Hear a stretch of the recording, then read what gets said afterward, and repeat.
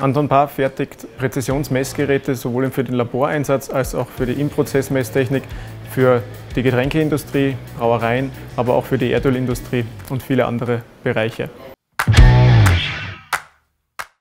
Der ursprüngliche Firmenstandort war in der Innenstadt, in der Nähe der Universität Graz und äh, in der Nachkriegszeit ist der Platz dort zu eng geworden und die Firma ist hier an den jetzigen Standort gesiedelt.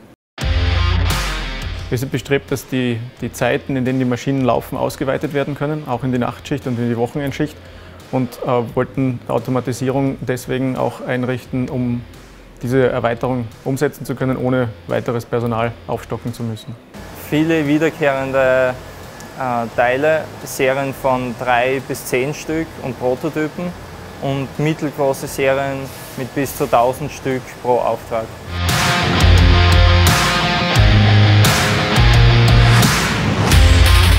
Das größte Problem für uns bei der Automatisierung ist unsere Teilevielfalt mit den kleinen Stückzahlen.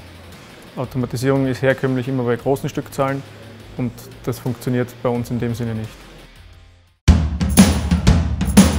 Den Kontakt mit dem Cellro Accelerate hatten wir über die Firma Steindl Fertigungstechnik. Das ist ein Lieferant von Maschinen, mit dem wir schon länger zusammenarbeiten. Und er hat uns den Cellro Accelerate auf der Hausmesse vorgestellt. Als wir den Cellro das erste Mal gesehen haben und das System mit den Schubladen äh, kennengelernt haben, haben wir darin sehr viel Potenzial gesehen, unsere Klein Kleinserien sinnvoll automatisieren zu können. Äh, wir haben im Augenblick vier Anlagen von Cellro im Einsatz. Drei sind bei Drehmaschinen angeschlossen und eine ist bei einer Fünfachs-Fräsmaschine angeschlossen. Die Zellrohrsysteme sind so flexibel, dass für uns im Prinzip kein Unterschied besteht, ob jetzt eine Drehmaschine damit bestückt wird oder eine Fräsmaschine mit bestückt wird. Als wir den ersten XL-Ride installiert haben, waren wir sehr positiv überrascht davon, wie einfach es zu bedienen ist.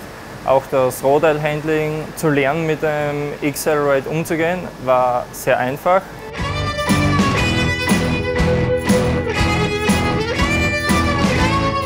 Der geringe Platzbedarf war für uns auch ein Vorteil, dadurch, dass unsere Produktion schon relativ stark besetzt ist und größere Systeme darin keinen Platz gefunden hätten.